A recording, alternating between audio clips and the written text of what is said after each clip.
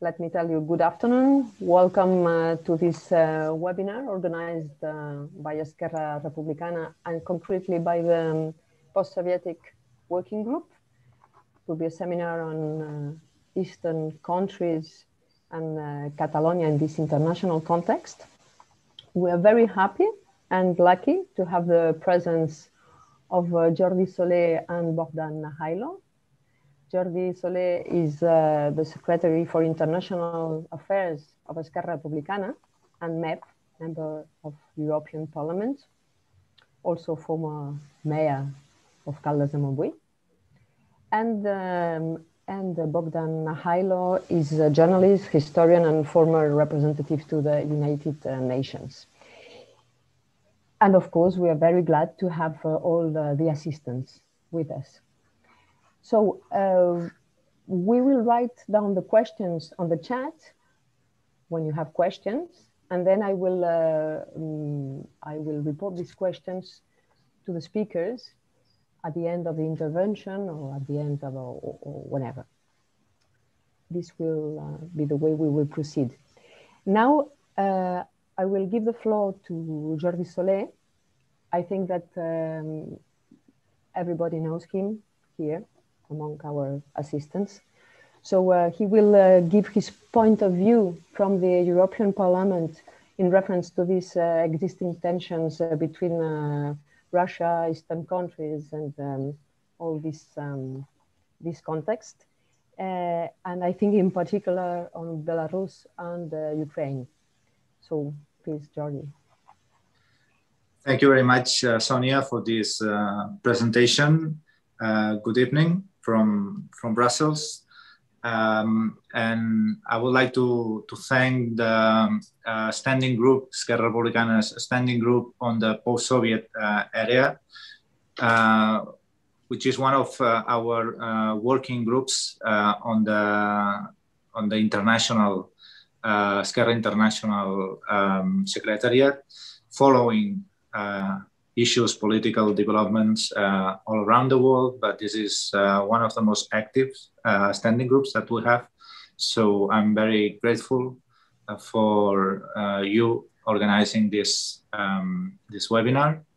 And may I also thank thank uh, Mr. Nahaylo for your presence and for accepting this this invitation. Invitation. We feel very privileged to have you um, tonight with with us. So uh, just just a couple of comments from from my side. Uh, I will be very short and very brief, but maybe just to frame a bit the discussion that we are going to have uh, tonight.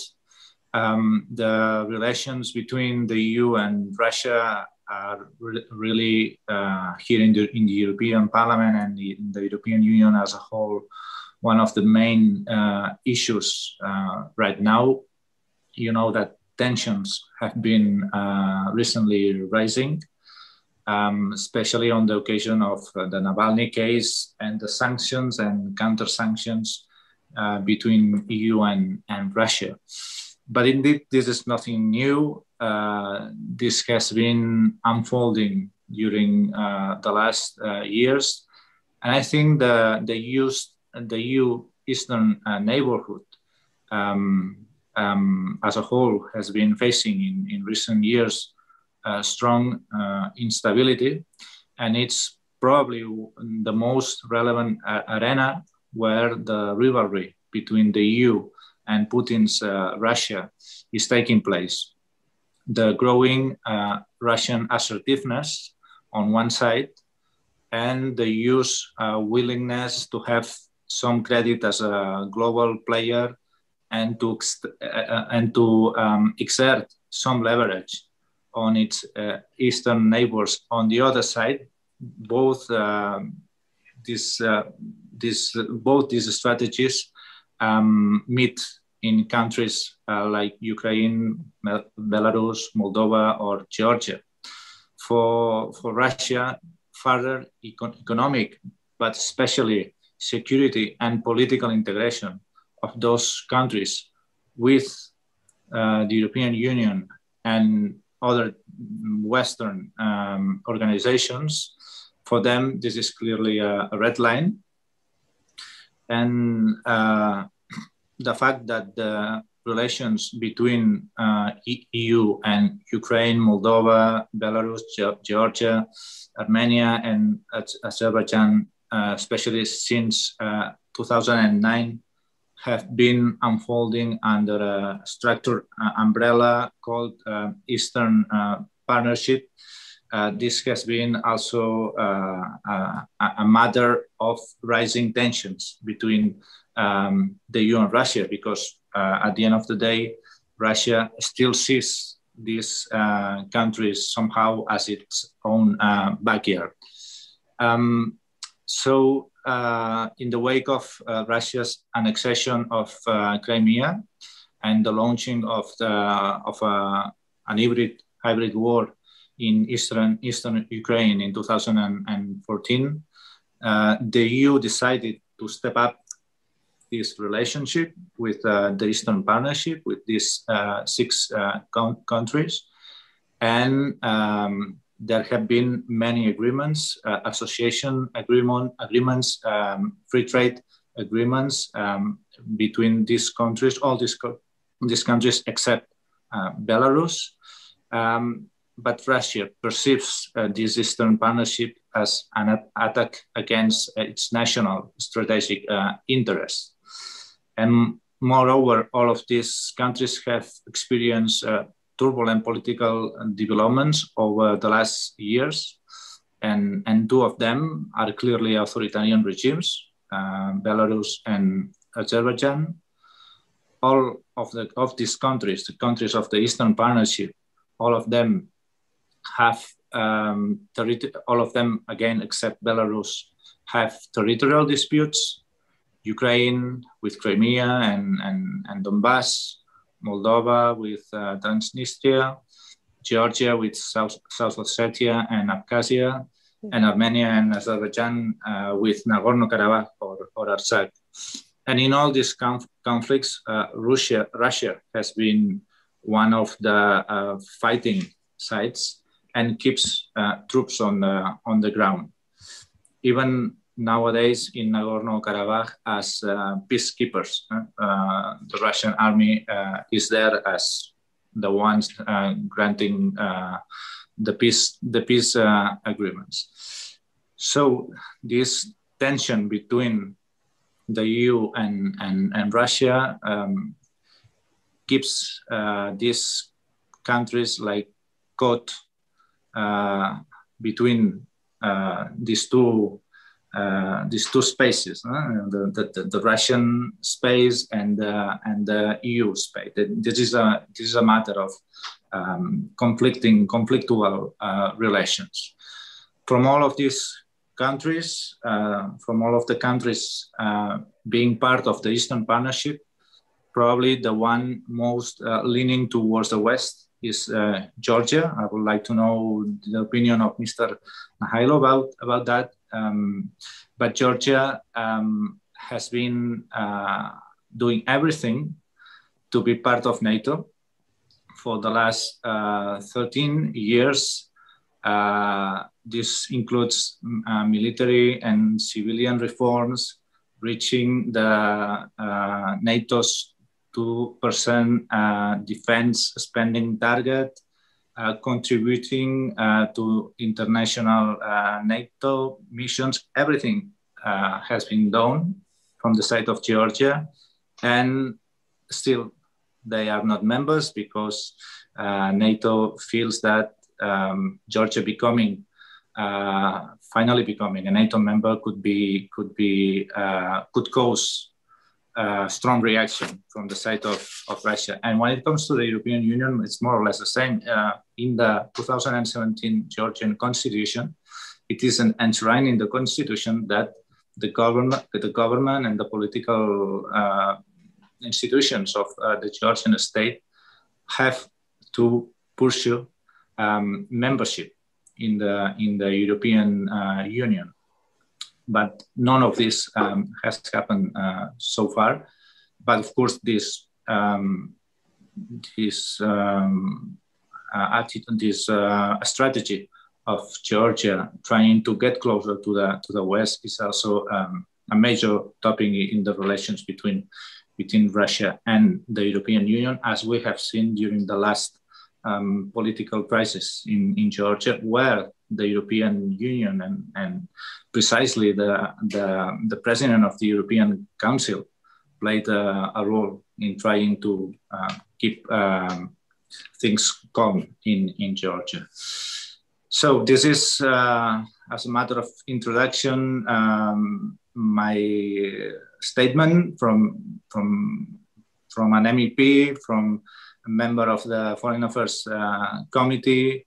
Um, this is a very serious uh, uh, concern from the European Union, uh, from our institutions, because uh, it's a bit uh, a bit the same uh, than is happening with other assertive powers like China. The Russian um, grip towards its backyard uh, is really a matter of uh, concern from uh, the EU institutions.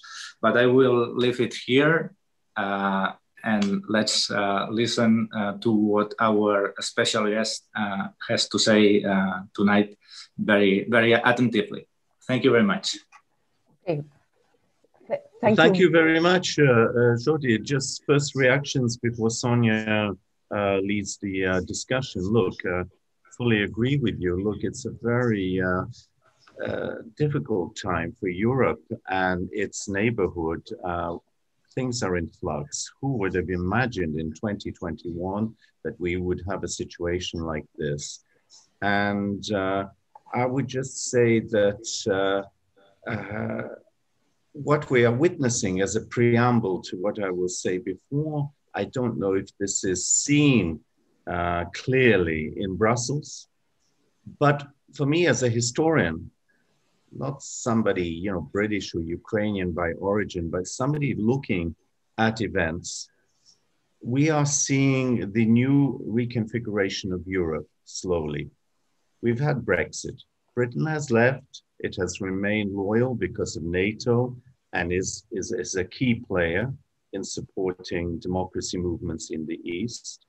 Uh, we are seeing in the east of Europe a reconfiguration in the sense that Eastern European states, Lithuania particularly, Estonia, Latvia, Poland, uh, Hungary to a lesser extent because of their own internal politics, Romania, the Czech Republic recently, they somehow feel left out.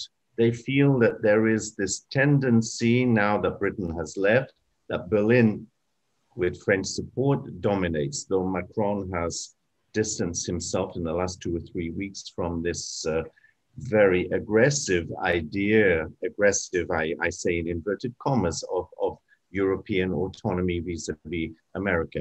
And we still don't know what the Biden administration will deliver at the end of the day because they started off promising a lot of uh, resoluteness vis-a-vis Moscow, but we've seen with uh, the response to Nord Stream 2 and well let's let hold on a second. Let's talk first. Okay. So let's let's be forbearing and let's let's uh, let's be optimistic that uh, the talks between Putin and, and Biden in the next weeks uh, on the 16th of June or whatever produce uh, decent results or at least reestablish the ground rules or set the terms. What I'm worried about is that in this reconfiguration of Europe, you have on the one hand Eastern Europe with members of the EU and those aspiring to be members of the EU, like Ukraine, Georgia, and Georgia has certainly done its homework. Uh, Ukraine has learned a lot from Georgia. Saakashvili, as you know, has been very active in Ukraine with dual citizenship and as a president has in, injected a lot of his experience into that situation. But I think the real problem is that in Eastern Europe, philosophically, historically, we are dealing with unfinished business. We are still at the end of the 19th century, the beginning of the 20th. Those processes that happened with Austria Hungary's collapse, with parts of the Russian Empire's collapse, uh, with the British Empire collapsing, with the French Empire, etc., are still slowly, very, in a very delayed way, taking part in Eastern Europe. And therefore, the significance for me of Belarus is that it is that perhaps the last piece in that European jigsaw that is trying to identify itself with Europe. A year ago, I would have said, look, they are in between Russia and Europe.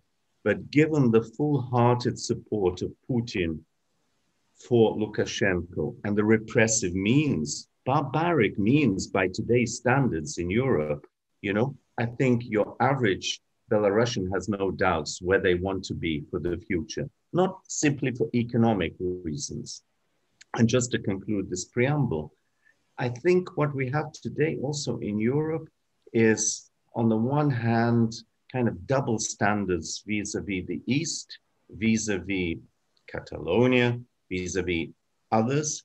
Uh, we need to maybe not reinvent Europe, but we need to reassert European principles and values because uh, somehow business interests, national interests, though masked by pan-European unity, have, have taken hold of us. And unless we survive as a community of European nations, large or small, who base ourselves on those core European values, we face immense threats, not just from Russia today, but from China tomorrow, etc., and from our own, like in the Roman Empire, from our own internal collapse because of our own sort of decay, uh, cynicism, tiredness, laziness, etc. So I would say uh, that uh, what I want to emphasize is that Europe is at a moment of truth, challenged by the East, by Eurasia, but challenged internally also and not knowing to what extent the US will be consistent and back us to the end as, as a European uh, conglomerate of families, as was the case in the 50s or the 60s, you know, the Marshall Plan, NATO, the umbrella in the skies. Because, okay, perhaps many of us welcome that Biden has reaffirmed the interest to be a partner of Europe, which was not so clear with his predecessor. But okay, three or four years down the road, where does that lead us? So, in terms of how we strategically face the future, it's very important right now to make the, the right decisions and show the solidarity and common understanding of core values. Sorry for being so long in this introductory remark. No, thank you very much, Bogdan. I, I just thought I would have to introduce you at the end. It's, it's a joke. but uh, but um, if I wanted to introduce you, it's because I wanted that uh, people who don't know you um, can know you a little bit and be uh, sure that you are the perfect person. Sonia, just for your Sonia, just for your audience, hmm. I'm of Ukrainian origin. I was born in Britain. I have a, a lot in common with hundreds of thousands of Catalans who were refugees after the third, after the civil war, etc. I was born uh, born in Britain to respect my culture, my language, politically to identify with that state that it seemed impossible in the 70s or the 60s or, or early 80s. Ukraine becoming independent, Soviet Union collapsing. Come on, and for many of you, Franco's regime, yeah, okay, you expected his, his death at some stage, but what would happen afterwards? So there are a lot of parallels, and I empathize very much with you. But what I want to say is that after that, as a result of that, human rights were very important for me. I worked for Amnesty International for four years in London in the Secretariat. I was responsible for uh, the Secretariat dealing with Soviet, not just Ukrainian, Jewish, Russian, Georgian, Baltic, etc., uh, prisoners of conscience when Sakharov was in exile, etc., etc. So for me, the notion of human rights is indivisible. You know, uh, human rights cannot just be for Ukraine. They cannot just be for Chilean victims as in the past. They have to also pertain to Catalonian uh, victims of um, injustice. And uh, Europe has to get its act together. And so that is my kind of starting point in my assessment of the situation. Yeah, right. And I think. And then I worked for the UN for 20 years in places like Angola, Azerbaijan, Belarus, etc. Different with refugees, with the High Commissioner for Refugees. So let's say uh, I've seen a lot, I've been to a lot of places, but at the end of the day, principles should remain firm. We should not be wishy washy about them. Okay, so um, I wanted to introduce you, but I think that you you already explained a lot of uh, things about your career, about your life, that, so that people understand that you are really the perfect person today to talk about all this that we are going to to talk. None of us are perfect. Well, well, I think yes. Let's say uh, appropriate. Let's say, let's say almost perfect. Um, anyway, I want to thank you also. Jordi told you, but uh, it's a real privilege and a, great pleasure to have you here with us. So I think um, after this uh, preamble, as you said, maybe we could start speaking uh, concretely about tensions in, in Europe and maybe with the last event in Belarus that you already mentioned.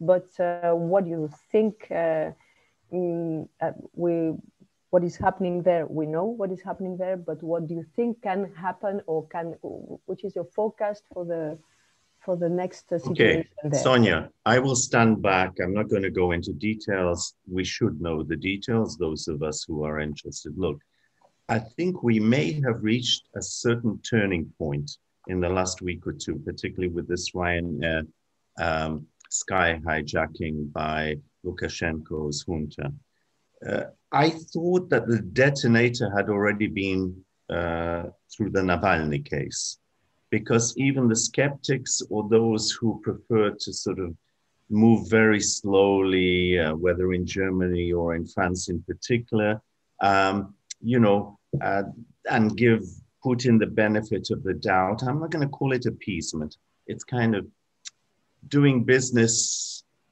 and yet speaking up about human rights violations, as the Germans keep putting it up over Nord Stream 2. You know, business is business, politics is politics. But at the end of the day, the two, as we've seen from history, are very closely connected and you cannot separate them.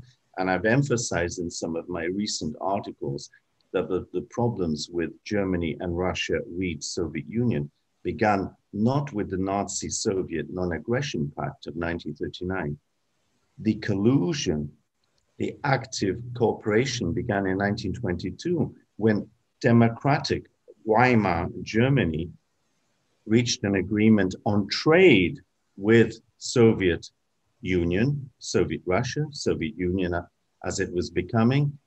And yet behind that, there was this cooperation in the military sphere. I mean, who knows now that before Hitler, the German army was being developed, trained, developing its weapons in the Soviet Union in an enemy state ideologically. So, you know, we, we, we should uh, also factor in what collusion and appeasement, uh, seemingly pragmatic today, leads to tomorrow. What can be the, the example? And hence the example also for Catalonia. You remain silent today about you know, the fact that uh, immunity is lifted from deputies, that uh, um, referendums are not recognized, etc. Where does this lead to? Uh, five, ten years down the road. Anyway, so um, for Belarus, I think Belarus has been a, a, a, a new trigger. It has somehow shaken up Europe and America and made them realize that, listen, hey, this is very serious. Uh, because, you know, Ukraine, very serious. Crimea, Eastern Europe, but it's seven years ago. The plane that was shot down is seven years ago, eight years ago almost. And in Europe, Western Europe, people don't care, they don't follow, they're not even aware that a war is going on. And suddenly, in this instance, you know, a European plane, uh, Irish, uh, flying uh, to, to, to Vilnius to an EU member is, is brought down so that uh, a dissident um, journalist can be uh, arrested. So it provides, in a sense, a window of opportunity because if that shaking up of memory and of a sense of responsibility has occurred, then that is very good. You know, it may last for a week, it may last for a month. That's why this week, this month is very important in terms of will the EU actually follow up now, finally, after talking about serious sanctions, I don't mean declaratory sanctions, will they actually impose sectoral sanctions or other? We, that remains to be seen. How will the NATO summit respond to Georgia, Ukraine, etc.? Will it be, thank you very much, here's another package of proposals for preparation, but wait another five or 10 years? You know, we don't know we need concrete signals. Are we a community of shared values? Or are we a community of nations, not nations, of states with self-interest predominating, where this self-interest, you know, uh, overlaps in, in many cases. So uh, just the bottom line on Belarus, look, let's give them credit. One year, one year of peaceful, heroic, um, new type of peaceful protests, massive initially and certainly for, for many, many months. And on the other hand, the very crude, barbaric, harsh methods that have been used by a system that could only do it if it had the support of Putin. And therefore, again, we need to look at things comprehensively. It's not Belarus. It's not Lukashenko. It's that world, that civilizational mode, that Eurasian approach to human rights, self determination, to this is my corner of the world, this is my sphere of influence, etc. If we don't factor that in, we will be misled.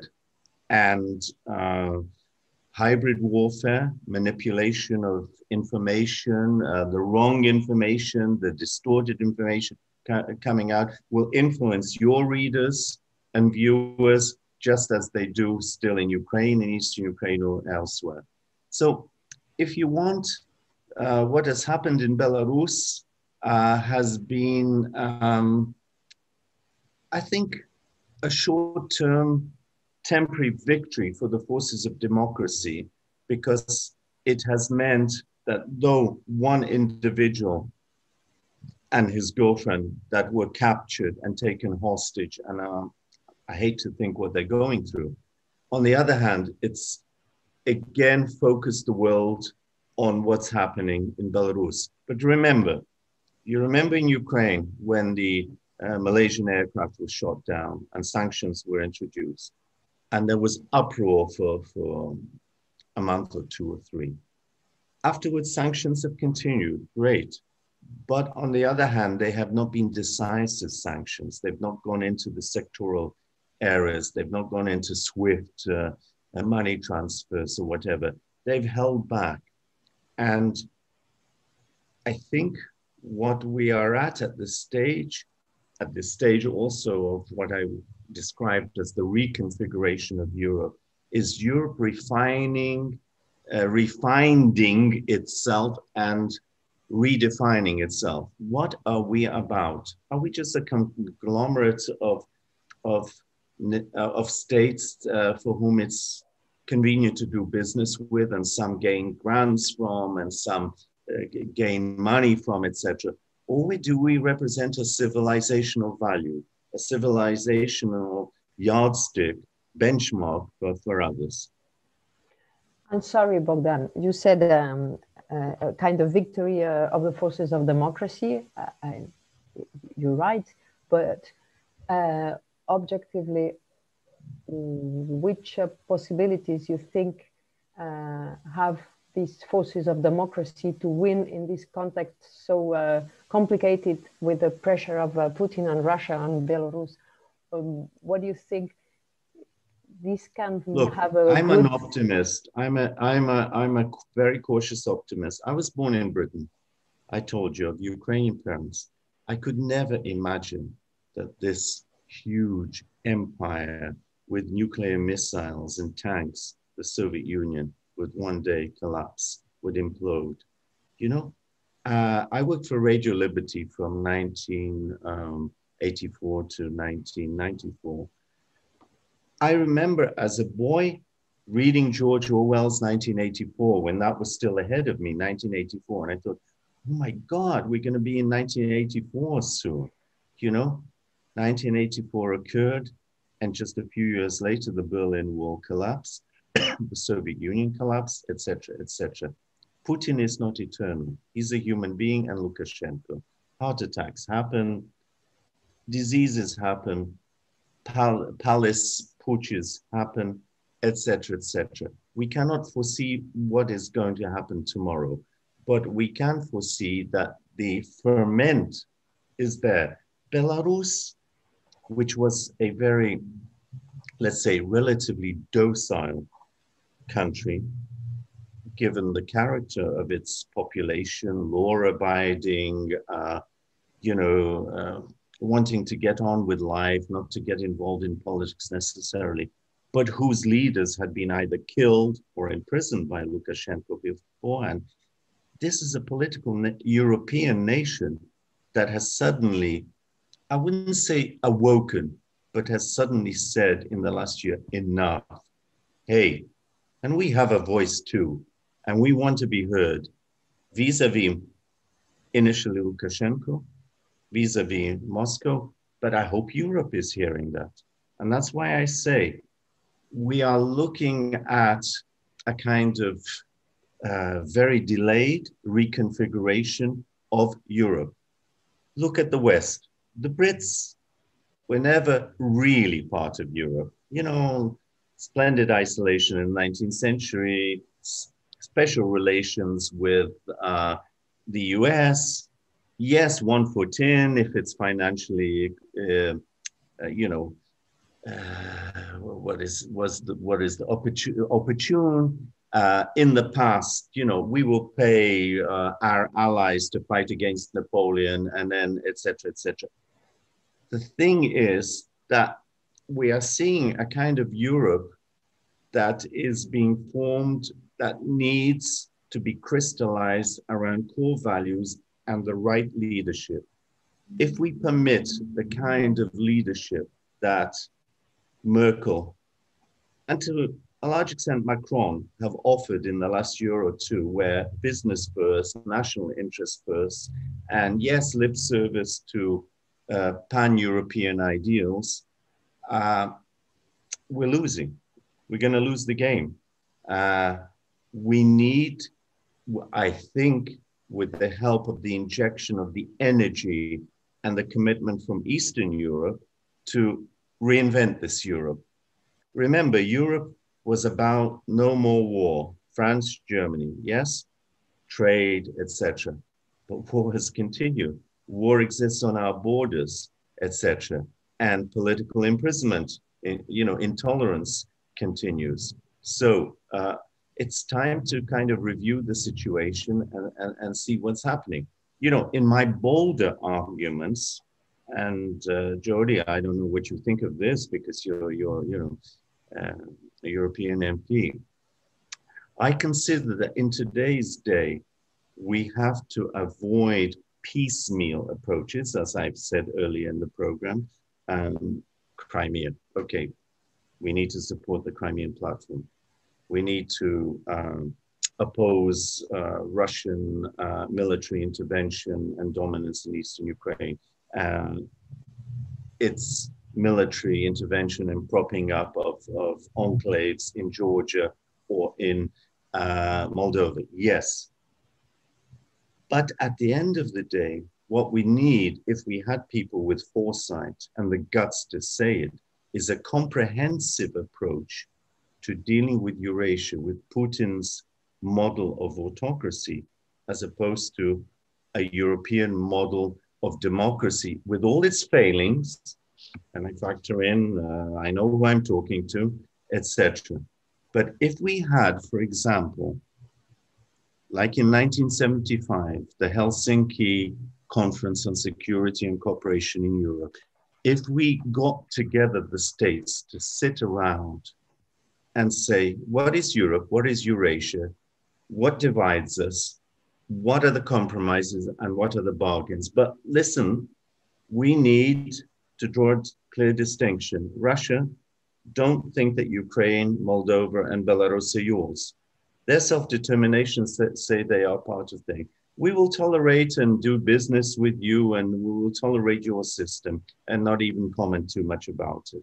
But on the other hand, we don't want your subversive activities, your uh, constant cyber attacks and, and attempts to influence uh, things. You know, at the beginning of the 21st century, we're still in the early part of it, to kind of draw the red lines and also to, to, to, to point to where the bridges are, where we can cooperate. You know, 1975 was very big. I was still, you know, I was active as a journalist, a young journalist, but 1975, you imagine the West, Cold War, sat down with Brezhnev's regime and then the communist bloc and said, okay, and they recognized uh, a human rights basket, which allowed the West to, to, to defend dissidents, etc. No, I'm not going to comment about how effective it was, but at least it laid down a principle. We have that missing now because there are no rules of the game.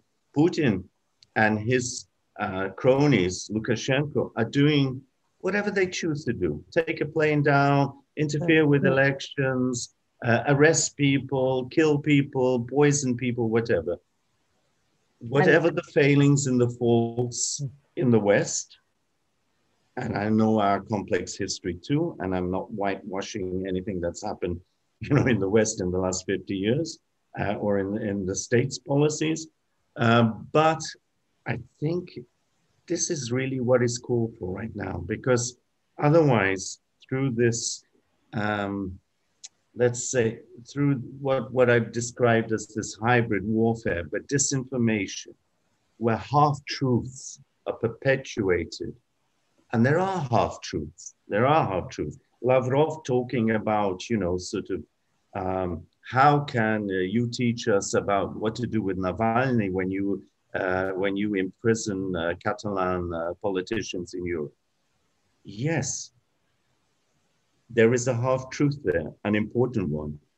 But in what, you know, um, it's Spain, shall we say, uh, distorting justice to serve the centralist interests of Madrid, as opposed to actually trying to poison your guys, denying it, and then arresting them when they come back. I mean, there is a difference. Or Crimea, for example, a, a pseudo referendum, but I don't have to convince you. There are genuine referendums, as you try to do, where uh, you uh, actually do it democratically and you, you appeal to the people to come out and vote and make their opinion known. And there are referendums, so called at gunpoint, where parliaments are taken hold of, as in Crimea, and then people are told to vote what they want. And, you know, ex post facto is justified as an expression of self determination. What do you think? Uh, now you were speaking about Lavrov when he said um, this uh, to Borrell, uh, this uh, sentence about uh, Catalan political prisoners, um, which is the Russian strategy behind this um, this kind of declarations. Look, I think it's quite simple. We don't have to be profound. Russia under Putin in his second stage, because early Putin after Yeltsin, they were still talking about a Europe from, uh, you know, from Vladivostok until uh, to, to Ireland. You know, what happens happened in between? What are the motives that has uh, led Putin and his gang, his bandit gang, to uh, promote this image of Russia as somehow beyond the law, different, different rules apply, different rules internally, at the same time, you know, making money from oil and uh, connections with the West, uh, money, uh, money laundering in London or, or Frankfurt or whatever it is, you know, and uh, getting, you know, Schroeder on board to, to Gazprom and, uh, and, and whatnot. So, you know, obviously money talks, but at the end of the day, Russia has gone into its own different mindset where the church, atavistic, the Russian Orthodox Church, is used to prop up political bandits, in effect, oligarchs, right? Many more than even in Ukraine. And where, okay, in Moscow, people have made it, they are rich, but the average Russian in the provinces, you know, what age are they living in, etc. And this promotion of the West as an enemy, as somebody who's out to get them, I don't think anybody in the West is interested in getting Russia. They're interested in having civilized relations and not having aggravation, you know, on, on, on the borders, etc., etc. Your average German, I think, wants to make his money and, and not have to hear about, oh, bloody hell, Putin, more sanctions, which means belt tightening for us, etc., etc. So um, I, I think that uh, at the end of the day, um, we are still 21st century. We are still at the stage where Russia was at in the 19th century. When you read the works of Custine, French traveler, or others, why did we have a Crimean War in the 1850s? Not just to defend uh, the sick man of Europe, Turkey, but because even the French, 40 or 50 years after Napoleon had lost to the, the Russians and the alliance, and the Russians were in Paris, were fighting against thing, uh, uh, the, the Russians and realizing that this was the, you know, uh, self-declared gendarme of Europe and uh, was imposing its values. Poland knows very well, you know, Poland's existence uh, was the. So at the end of the day, let's not lose sight of historical parallels. Let's see things in context, but at the, the same time, let's be courageous in the decisions that we take. Let's call things by their names. Let's not bullshit. Let's not appease. And that's what really happens, which brings us perhaps to another part of the, of the, of the discussion. Fine. Um, there is a question from Jordi Villanova, our friend, who says, Mr. Nahaylo talks of Eurasia as the Russian Empire, to which nationalists like Putin believe Belarus and Ukraine belong as part of the greater Russia. How long will the empire, empire hold? It will hold for as long as the Russian public is not saturated with democratic ideas and principles. And you know, doing that in Russia is very difficult, especially now as, as more control has been taken over the media, the internet, over foreign agents, so-called, etc. So it's very difficult because on the one hand, the official ideology and propaganda feeds them this idea that they are somehow different, they are somehow greater, that they are somehow entitled to a different set of rules and to do as they want in the areas that they want. You know, uh, so I mean, this still stems from from 1945, the foundation of the UN, the Yalta Agreement, uh, etc. Um, the UN, we were supposed to be equals as partners, but the Soviet Union interpreted its own way under Stalin. Yalta, you know, let's split Europe, uh, almost like the, the Nazi Soviet non-aggression pact. This is ours, that's yours, but out, don't interfere, etc. Uh, okay, that came to an end with the Berlin Wall collapsing, Czechoslovakia, uh, Poland, etc., etc. And notice that the most shall we say, staunch defenders of Europeanness in terms not only of business and visa free travel, but in terms of values, are those countries that had spent a long time under Russian slash Soviet rule. Why is this? This is not NATO expansionism. This is not NATO forcing them or, or, or dangling economic carrots before them. It's simply that along with the uh, aspiration to a better um, material life, there is this notion of freedom. Whereas Eurasia, for me, and uh, for those who wrote in the 19th century, it's still part of this Oriental despotism. It's still part of this, shall we say, um, uh, legacy from the Tatar Mongol uh, era. Remember, Muscovy spent 300 years under the Muscovites. They were totally divorced from, sorry, uh, from uh, Europe as, as we know it, as, as we knew it then. So um, Biden has a point. Reagan dared to call the former Soviet Union the evil empire. We know the shortcomings, failures, the crimes that were committed in the West, even under Washington's flags. But at the end of the day, the evil empire that hit home. It was an evil empire. And we still have that today. Uh, Biden, you know, had the uh, the guts to be forced into acknowledging that that uh, Putin is a killer, uh, grudgingly, uh, not forcefully like, like like Reagan. But that sent a message home that I think to Putin, game over. Listen, the emperor has no clothes, or at least we know the armor that you are wearing without clothes. And so, how long will it last? I don't think that this is a question for us. It might take longer or shorter. None of us know. As I said with the Soviet Union, none of us could foresee when the Soviet uh, Union thing. Remember Monty Python? No one expects the Spanish Inquisition. No one, pardon me, but nobody expects the end of huge monolithic systems like this. And look at look at what Putin is doing. He's used his economic control uh, to uh, buy supporters, to build up a strong security force and military force.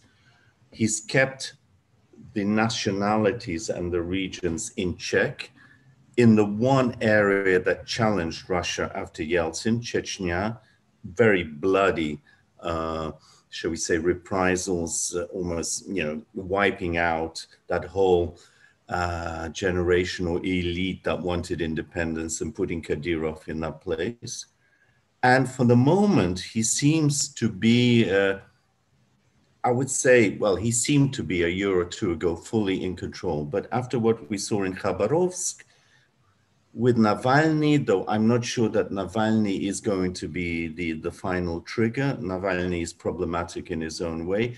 But I think people in Russia, given declining economic standards linked to the price of oil and not only, but looking at the greed, looking at the stupidity of isolating the country from the outside world uh, are and through access to the social media therefore having access to independent media if if they are equipped to deal with it are saying hey this this is not what we were promised. This is not the russia we want. What's in it for my children afterwards etc hmm. I, I, I agree with you. I think yeah. Really, I you know that I used to work with uh, Russia and, and, all these countries, and uh, there is a proudness to be Russian. Always, it's true, but there is also a real desire to to get mixed with the others and to have the same uh, style of life and opportunities than the others. Uh, so. Uh, in, uh, in, in that sense, the commercial side helps uh, to this possible integration or maybe this uh, decline of the empire. I don't know uh, how to say. Sonia, but remember, just as an afterthought, the imperialistic element here. There is one message to the outside world, Europe, the US, NATO, the confrontation, but to the immediate neighbors of Russia, it's a very imperialistic revised line. Um, you Catalans remember that uh, you wanted to be recognized at least as a nation uh, after the death of uh, Franco uh, and for that to be enshrined in all the um, statutes on autonomy or whatever. Putin to this day talks about Ukrainians and Belarusians as one people. We have a separate language like you have from, from, from the Spanish, right? We have a separate history. We have links with other entities, political entities in our past. That is nothing for him. For him, you are one people. You have been badly influenced by the West, whether Austrians in the 19th century or the Poles in the 20th century, but you are really Russians, you know? So you are really Spaniards is the message. Uh, and uh, it's, it's pathetic, shall we say, that uh, in the 21st century that this is happening at two ends of Europe. You know what I mean? That's why I return to having these core values and deciding on who we are at and what, what are the ground rules and what does it mean to recognize self-determination. Uh, self-determination is not just about what the metropolis decides out of self-interest but in terms of real, genuine self-determination as defined maybe in the UN or in UN uh, bodies, uh, etc., as in courts that are not under the uh, control of the capitals with a vested interest. We have, uh, Bogdan, we have another question from our friend Alena Turava, who says, I would like to know the opinion of all of you about the way, steps which Belarusian people could win this struggle with dictatorship. Is it possible to win peacefully, paralyze the country, or take radical steps? Well, let me give Jordi a chance to, to think. I see he's lost in discuss in thought there. I think they have already won. It's a question of time. Last year was a turning point, August. Belarus is not the same the, polit- the level of political consciousness has risen. Uh, Belarus has redefined itself as a modern European political nation. Maybe a year ago, it was not quite sure whether it should tilt west or east, not out of political reasons, but maybe out of economic, pragmatical reasons, given dependence on energy and, and subsidies from, from the east. But given the support, wholehearted, cynical support that Putin has been showing for a murderous regime, let's call it that, a murderous regime, then I think that even those who have doubted realize that the option is no longer an Eastern one or balancing, that as soon as they get rid of this dictator, they will look to the West.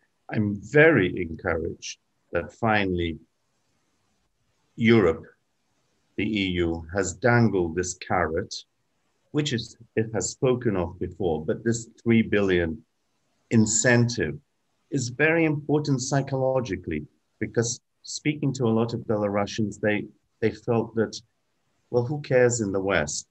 Our criticism of them was why didn't you have sort of pro-European banners or, or flags to start with, etc.? You were very careful. Okay, that's a plus. But now uh, you see that there is an interest in you developing a democratic approach to your self-determination, and that the West is standing by to help you somewhere down the road. I think that that has been a very encouraging signal, even more so than, than some of the sanctions that were applied before the Ryan Air um, incident. Jordi?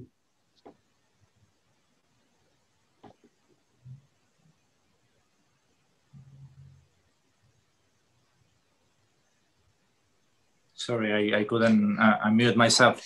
Um, in in Belarus, we have a dictator uh, being backed but by an autocrat uh, from one of the biggest countries in the in the world. When that happens, um, it's difficult to get rid of um, dictators, but there are things that can be can be done. Uh, first thing uh, has to be the internal struggle that uh, Belarusians uh, are are, are doing, uh, which is uh, absolutely commanding. Um, they are trying to um, resist the authoritarian uh, grip, the criminal grip of, of a regime and this is uh, something which is um, very difficult to do and to sustain over over over the time. So we have to help we have to help them. We have to help the civil society, the democratic forces that uh, in Belarus are risking their lives um, because they want freedom and they want to live in, in, in dignity. And this is uh, one of the things that we can do from from the European Union, um, from the from the outside to give our um, full support to those to those many in in Belarus actively uh, resisting this uh, dictatorship, and that can be done uh, in in different ways um, from the European Parliament, and this is this is a very transversal, cross-cutting um, support um, there is a clear, a clear uh, willingness to keep putting pressure on the Belarusian uh, regime. Uh, we were the first uh, to call for sanctions, to call for more sanctions, because at the at the beginning um, the member states were hesitating whether to go the hard line or you know, uh, procrastinate, procrastinate a little bit, which is very, very European, may I say, very EU way. Uh, in the end, there were sanctions, but I think that there is more to be done on, on that on that level. But there has to be direct support to the Belarusian civil society and democratic movement. And uh, for instance, uh, this is a very very small uh, example, but I just signed uh, this afternoon uh, a letter that most probably will, be joined by, by many MEPs. MEPs requesting the EU to send um, officials to witness the political trials that uh, are going to take place uh, there. So um, this this might be this might seem uh, very very little or nothing, but uh, by having um, a direct EU presence, if it's possible, in these uh, trials, we are uh, showing that uh, we care uh, about them, we care about what's going on there, and that we also want to help Belarusians um, resisting and overcoming this dictatorship.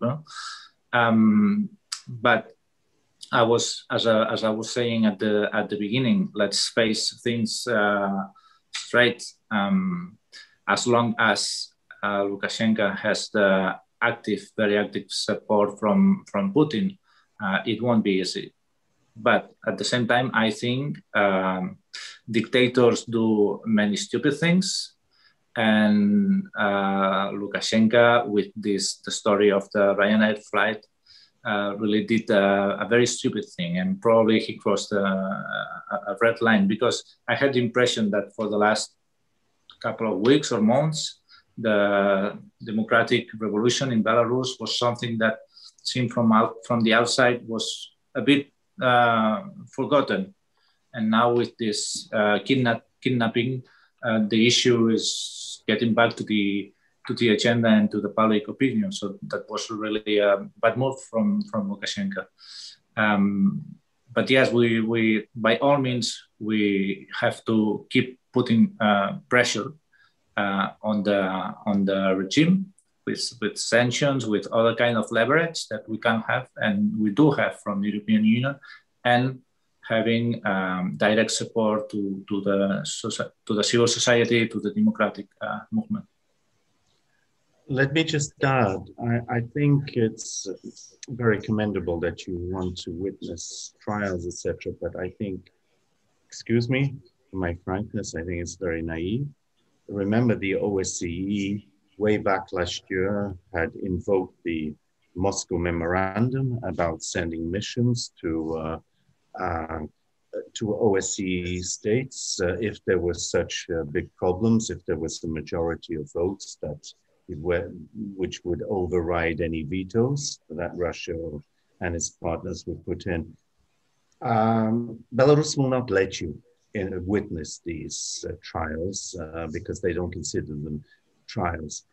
Uh, and then uh, responding to, to the question I just read it, I don't think radical methods, I don't think going out like in Ukraine, where the protests were centered in a in the heart of Kiev on the Maidan, and where there were, you know, shall we say, uh, barriers built, etc. And where, let's face it, the Yanukovych uh, uh, regime, however harsh it was, it was not as cruel. It was not as ruthless as what we have seen uh, happening in Belarus. Had Yanukovych used that sort of force, you know, brutal force, shooting people down initially, taking in the bulldozers, arresting people massively, etc. I don't know if the Maidan would would have occurred.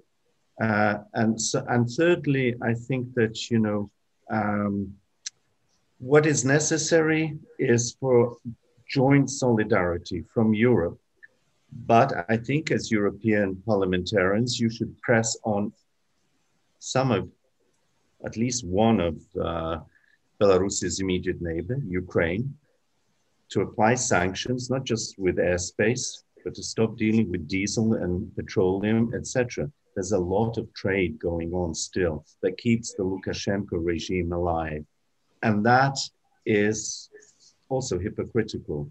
It's double standards, and you cannot be in Kiev and demand that Berlin stops Nord Stream 2, and at the same time, because we have a war in Eastern Europe, eh, in Eastern Ukraine, and we need diesel.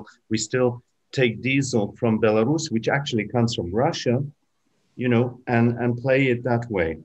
We have to be consistent throughout. And what we need, as I said initially, principles, but consistency across the board, whether in Eastern Europe or in Western, world, uh, Western Europe. And that is what is missing. You know, Germany's playing its own game. France is also uh, various states. Uh, you know better than me. You're you're in the center of it, uh, Jordi. But what I'm saying is that uh, we have to be effective at all levels of stifling, suffocating that regime but at the same time offering an alternative to those officers and to, to those officials involved in the repression, saying, look, bad times are ahead. The Hague, you know, uh, symbolically courts uh, violations of human rights, but you still have a chance to help out and to topple this regime. How it will happen in Russia, none of us know. But uh, as I've suggested before, the Russia of today on the surface seems to be as strong as ever. The blustering, the Tarzan, you know, troops on, on Ukraine's border and all of that. But in effect, it's a weaker Russia uh, economically, in terms of isolation, internationally, in terms of the domestic responses, reception of the messages coming from the strongman in the Kremlin. It's not quite the, the, the Russia of when they annexed Crimea. There are even doubts about that in some in some areas. So, yeah, it's it may not happen tomorrow, but uh, my response, as I said before, I think it's game over over time, even in Belarus, and that Belarus will eventually join Europe as that long lost, uh, hijacked uh, member of the European uh, family. Okay, hope it will be as you say. We have another question, and uh, then maybe we could uh, go to uh, the topic of your opinion on Catalan role on all this uh, mess of international relationship. But right now, I have to read this question from Josep Torres, who says, "Sorry." There is a certain parallel between the movements in Belarus and Ukraine. Uh, it could end by the same way in an uncovered civil war? I don't think so. Mentalities are different. Belarusians are much more Baltic. Uh, they're much more Lithuanian, Scandinavian. Ukrainians are, are southern people. They're much more hot-headed, and they will they will fight if forced to fight. You know, we've had the Maidan, we had the Orange Revolution, etc. We have our Cossack history, etc. We are we are people that suffer a lot. But if you if you push us to the limit, we will will stand our ground. Belarusians have been um, law-abiding, peaceful, tolerant, and I think they've come to their moment uh, of, of, truth. So um, that is the game changer, the change in the mentality. Remember that that that change has taken place not in the old uh, generation, those you know survivors from the war. It's the younger people, it's the IT experts, it's the business people, the entrepreneurs, the middle class who think differently. You know, and that's that's why for the future, um, I don't think Russia has an in there. Uh, I think that Putin blew a very important chance to somehow partly, partially redeem himself in the eyes of the West, and certainly in, in to win favor in uh, Belarus. Had he handled uh, Lukashenko's manipulation of the election results last August differently and said, uh, mm, some doubts, uh, we have to look at this, etc. Let us help you, let us mediate, etc. Instead of coming in and uh, almost immediately uh, saying we back the legitimate president, etc. He blew his chance there. He had a chance to, shall we say, gain at least uh, the acquiescence, the the um, the goodwill of, of a large part of the Belarusian population. Secondly, uh, Ukraine is a far larger country, regionally very differentiated. Western Ukraine, Eastern Ukraine, Southern Ukraine, Northern Ukraine, etc. Um, less so Belarus, a smaller country. Yes, you have a, a sort of Catholic section on the Polish border, uh, uh, Orthodox uh, center and east. But what I noticed when I was observing uh, the initial protests was that it was not Western and Minsk based, not, Western uh, Belarus, meaning Grodno and Brest, but you had protests happening nationwide in Vitebsk and in Mogilev at the same time. In Ukraine, it started in Kiev. It was centered on the Maidan. Uh, and then, you know, Western Ukraine were very supportive, gradually Odessa and a few other cities. But Eastern Ukraine were kind of held back until the war started when they realized that they had to make a choice. I am Ukrainian or I'm pro Russian. And uh, okay, the very far bit uh, were taken over by the Russians and, shall we say, were encouraged to think differently, uh, as in Crimea. But the, the, the game changer there was Russian military intervention, where there was a sort of, um, you know, uh, indecision as to, to where to go. What I noticed in Belarus, remarkably, for a country that we had written off as very Russified, where the, where the Belarusian language was no longer important, that it was just the language of some of the writers and the elite. Suddenly, they not only discovered their political rights and sense of democracy, but also they started demonstratively, massively speaking in Belarusian, flying the uh, white, red, white flag, symbolizing that this was not just a protest against, uh, you know, um, a uh, an election that had been fixed, but that this was a national democratic uh, reawakening of a nation, of, of a slumbering European nation. And we lose sight of that in, in Western Europe we remember what I said an hour ago or 45 minutes ago. This is unfinished business. This is like 1918. This is 1848. This is 1918. This is 19, I don't know, whatever year you want, 1991. This is unfinished business that has taken place a long time ago in other parts of Europe, which is only reaching those parts of Europe because of Soviet rule, the suspension of history, etc., uh, etc. Et and that's why it's important to see, see these things comprehensively, holistically, and not just look at, oh, well, there are Russian speakers in, in Donbass, there are Russian speakers in, in things, so maybe he has a case. And, you know, there are minorities in Georgia, maybe he has a case. And there are Russian speakers in Moldova. maybe he has a case, and let's not anger him. Let's let's be fair to to to, to the tyrant in Moscow. You know, whereas we should be saying, hey, what have we learned from appeasement? What we have we have we learned about acting as a body or being played off as uh, you know those with our own selfish national interests. Somebody wrote to me today on a Ukrainian uh, site. Uh, no, I'm sorry. It was the Speaker of the Ukrainian Parliament today who said, um, and I challenged him in my, in my comment, uh, uh, Mr. Razumkov. He said, well, national interests above all else. And so in dealing with Belarus, we should always be aware of our national interests. And I wrote back, national interests? Well, then, uh, you know, why, why criticize the Germans? They have their national, read business interests in Nord Stream 2. Are you not uh, uh, interested in higher principles of solidarity in such situations? Uh, you know, we, we can't project the image of Ukrainians as victims and plead for everybody's understanding and support, and at the same time, not to pull our weight uh, in, as a team player with the rest of Europe.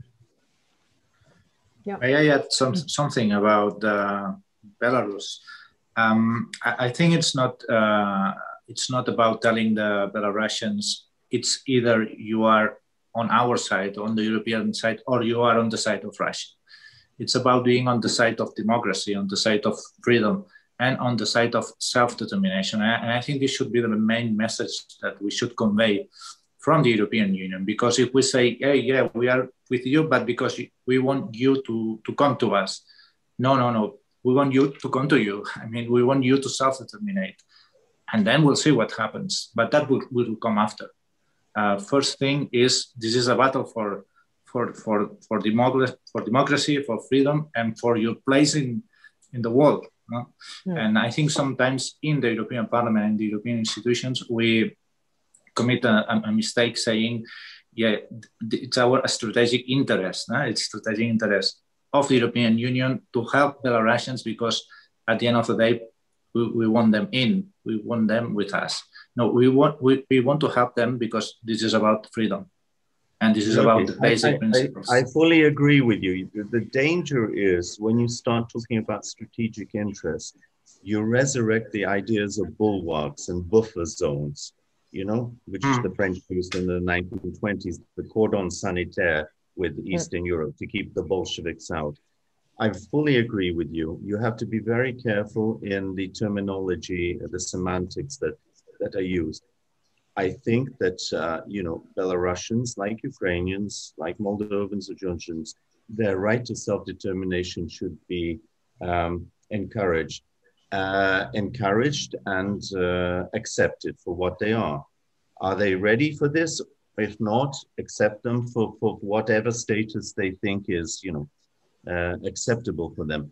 Uh, but uh, on the other hand, remember that you have on the other side Putin, who is telling them, as I said before, you're one nation, mm. uh, you're Russians, uh, you are an offshoot of the Russians, and you're part of Eurasia. You, uh, we are the former Soviet Union. We are the former Russian Empire.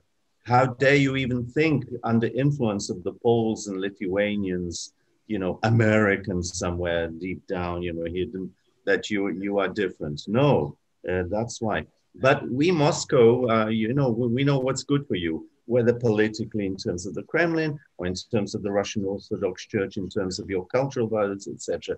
So you have to find a balance uh, between presenting those carrots in initiatives and support without making it seem that you're aggressive, that you're you want to to absorb them, and at the same time you have to counter uh, the uh, you know, the perpetual disinformation that uh, you don't belong there, you belong with us. And if you belong with us, you're you, under our hegemony. You know, it's not as if Russia is offering Ukraine or Belarus or others free equal partnership. You know, it's you come in on our terms and you, you're not a partner. You are a subordinate. You are a junior brother in, in this uh, uh, Moscow driven uh, enterprise. And that's what we mean by Eurasia, and that's why it is dangerous, you know. Uh, and what is dangerous about it is, is that it's threat to, to the West generally, because they see us, those with a different model, uh, a democratic model, uh, as a threat to their existence, not militarily, though they invoke that, but because we represent a different model for citizens, for, for, for people. I mean, look at look look what's been happening in Russia in the last uh, two three weeks. Uh, let's leave Navalny aside. You know, uh, fines against Google, um, closing down of NGOs that are left. Uh, these, these these you know foreign so-called foreign agents, uh, demonizing of anyone who's had grants from the West before as foreign agents, uh, inimical players, etc. I, you know, this, this, this is really not, we're not dealing with an equal, an equal in terms of the, the, the same mindset civilizationally. We're dealing with somebody who does not want to see us exist as we are, because we pose a threat to them, uh, to, to, to their way of ruling, to their power setup, to their power structures, etc. Um, and that's what's not often realized in the West still.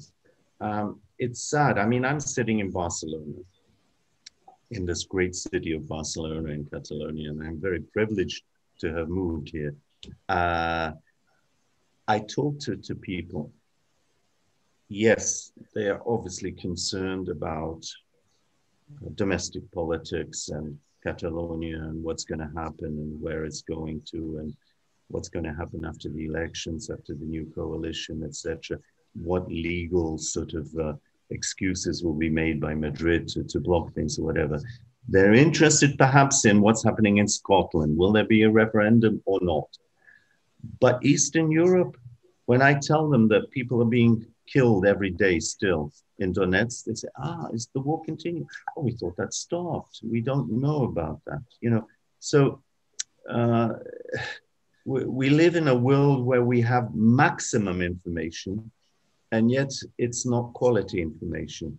We're kind of, uh, shall we say, swamped by a hose pipe of information as opposed to quality information that puts things in perspective, that lets us realize what's actually happening and where we belong in this world. It's really very interesting what you said both. Um, now we should start finishing, if I can say this.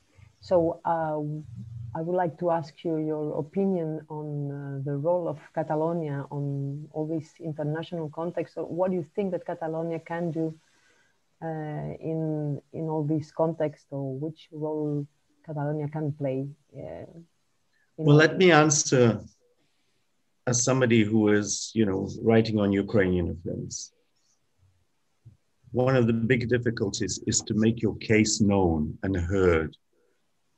As I said before, people don't even know by and large and don't really care what's happening in Eastern Europe and on, on the border with Russia. That's a long way away. And by and large, I would say in Europe, uh, after a few weeks of intensive attention uh, when the uh, Madrid authorities cracked down on your attempts to hold uh, a referendum here. People don't know what's happening here. I don't think your average European, let alone Russian or Ukrainian or Belarusian, know that you have political prisoners, that you have your leaders are imprisoned. They don't know about the games that have been played, you know, to, to, to stop uh, the, uh, a movement for self-determination. Uh, I think, you know, it was clear from what I've seen and what I read that had you lost um, your democratic attempts to define your future, as in Scotland, you have, would have paused. Uh, but you were not even allowed that. And this message is not there. And the fact that uh, let's say somebody concerned about human rights, that uh, diplomatic immunity or a deputy's immunity is lifted of, of Catalan members of the, of the European Parliament. It sends a very bad signal. it sends, it gives ammunition to Moscow. It gives ammunition to other states that, shall we say, are not democratic, are authoritarian, because they say, who are you to tell us? Look at what you are doing, etc., etc. And those good examples of some courts in Belgium, Germany, uh, etc., who have not recognized uh, some of the rulings of Madrid are not heard of. So you lose out by being uh, branded, as it were, as extremists. As in Ukraine, we get a bad press when we have ultra nationalists on the streets, and the Western press will say, oh, neo fascists uh, are active again because Moscow is promoting this in Ukraine. Same here, when you have cars burned here or some, let's say not violent, but shall we say ugly demonstrations localized by a small group of people, but this is presented as an ugly face of, you know, separatism in Spain. And I think what, what's needed is a much more concerted effort to win the hearts and minds of, of, of the public, not to say even legal bodies. And you have already a good foundation there that you should build upon because there have been, shall we say, assessments and rulings that, that, that, that work in your favor.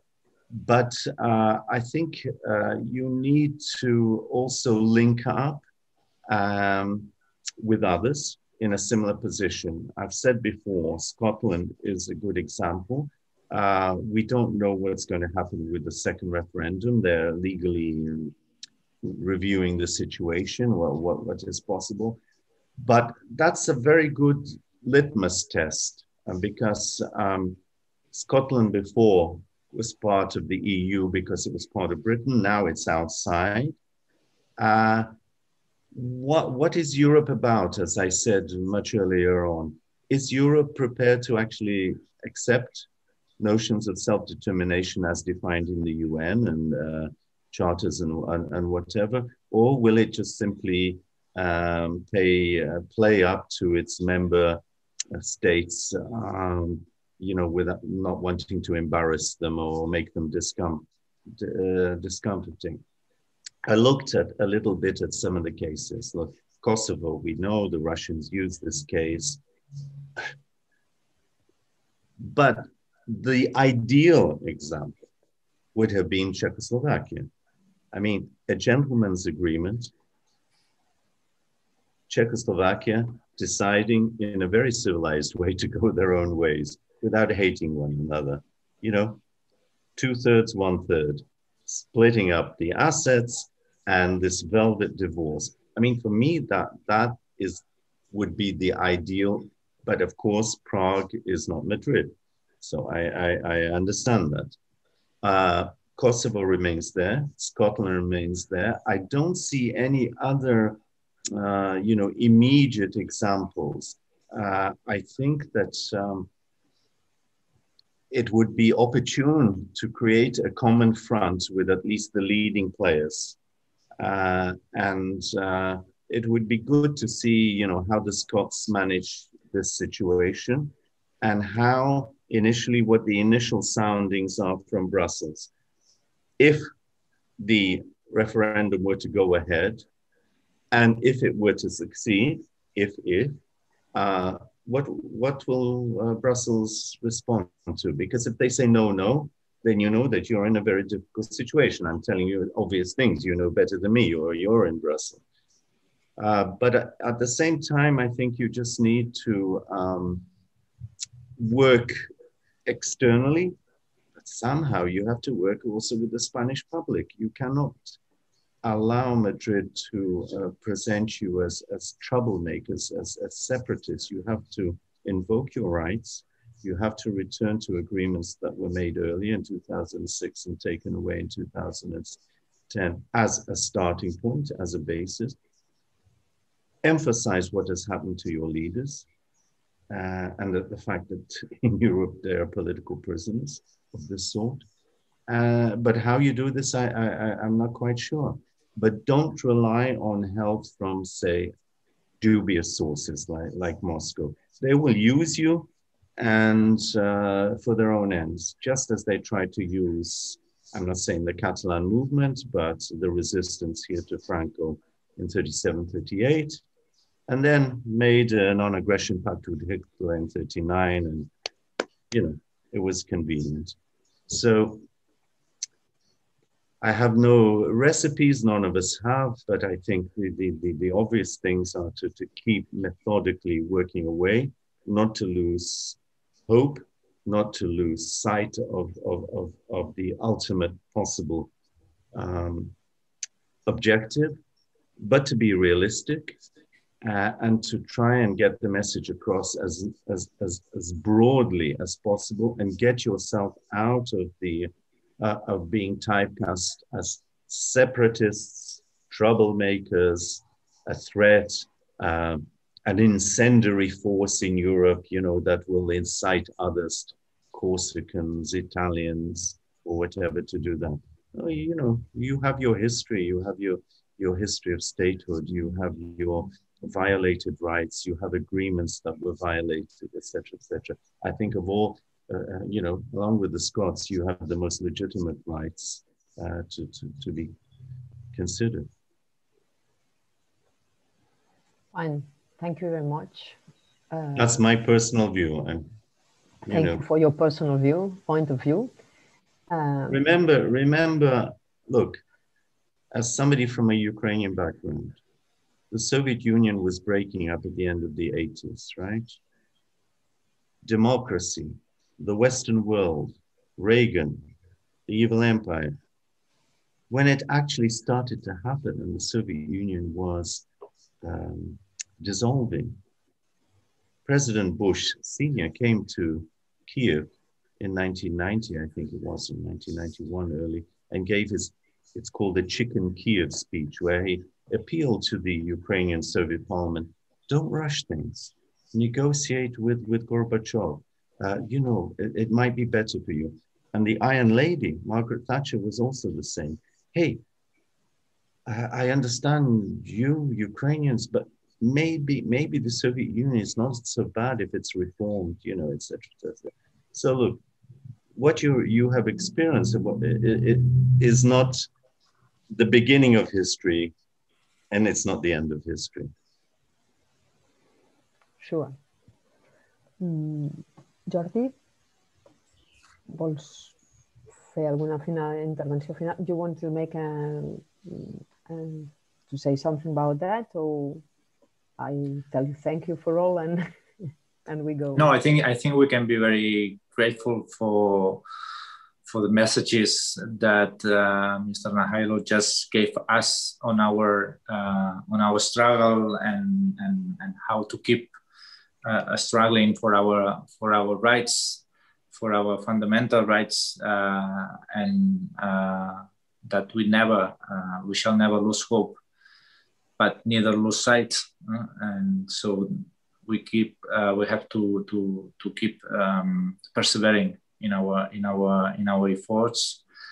And it's true that uh, nobody said that this would be easy uh, we know now uh, for sure that it has not be, been easy so far probably it won't be easy uh, in the next uh, months or even even even years but um, i was taking some some notes and i uh, underlined uh, one of the things that you said, invoke your rights.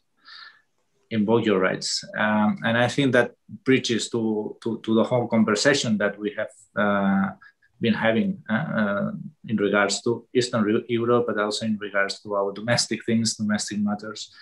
This is a matter of rights. This is a matter of uh, fundamental values. and, and we have we have to be insisting on this having a comprehensive uh, approach and asking for those many um, those many um, involved or those many um, really defending these these values across the EU, across Europe, across across the world. That hey, uh, here we are. We have uh, we have been repressed. We are being repressed for trying to exercise our fundamental rights. And our case is still open, still very much alive, and still very much valid. So um, I think your remarks um, make us um, aware of the fact that nothing is lost, that uh, we have to keep going on. Uh, we have to keep our struggle very much alive because it's not only about the case of the Catalans, it's about the case of fundamental rights, about the case of uh, self-determination. So never give up, never give up. Right. If I could just add two or three words, I forgot to mention this. Learning from the Ukrainian experience, but I'm sure this is not news to you. Avoid ethnicization of the Catalan movement. Reach out to all those in Catalonia, make them feel comfortable. Like in Ukraine, we don't want to alienate Russian speakers and those ethnic Russians. Look, we have a Jewish person, Russian speaker, who is now the president of Ukraine, Zelensky, right? Uh, he reached out to many of the Russian speakers, and, and shall we say, he got 73% of the um, uh, vote in the presidential election. A miracle. I mean, a miracle, a democracy in action. Uh, whether he's good or bad, I'm not going to comment. I'm saying he's, he's doing his job, and some like him, uh, some don't, etc. I think what's very important for the future is that people in Catalonia, particularly in the big cities, do not feel threatened by your movement, that they feel that, that they should feel part of it, that they should see the advantages of supporting you. And I think you, you if you're not doing this already, I'm, I, am i am sorry, I'm ignorant, I don't know. But if you have elements within the party or within your, your alliance that can reach out and conciliate um, those who are perhaps are have doubts or perhaps are hostile to you by making them feel that yes, we are putting the Catalan identity as the central one, but it doesn't. We are building a political nation, a Catalan one, which does not exclude others. You have your democratic and cultural rights within it. You have so many Chinese here now. You have so many Pakistanis here, etc. You have so many Span- Sp- Spaniards from other parts uh, they have to get that message that this is not at their expense, that they are not being threatened. You know, I, I think that's another message I would send, but that's probably obvious to you. Okay, so now I have to do a very pleasant thing, which is telling you thank you very much both. Thank you, Bohdan, mm, for sharing, sharing your point of view, your knowledge, your experience, everything. And I hope really that we will continue um, sharing and uh, exchanging um, opinions and points of view uh, and so on. And, and thank you, Jordi, also because you are always available. And this is very fine because we know that you have a lot of work in Brussels, a lot of work in